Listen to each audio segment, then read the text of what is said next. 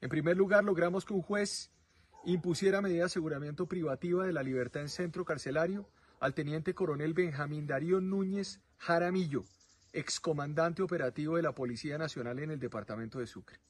El material probatorio da cuenta de que este sujeto sería el responsable del homicidio de tres hombres el pasado 25 de julio en el departamento de Sucre.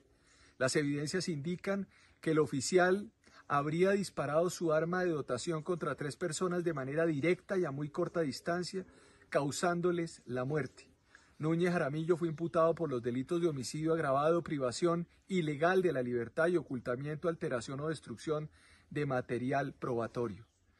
La Fiscalía esclareció este caso en 28 días. El hombre es la última persona judicializada por estos hechos. Diez personas más recibieron medida de aseguramiento.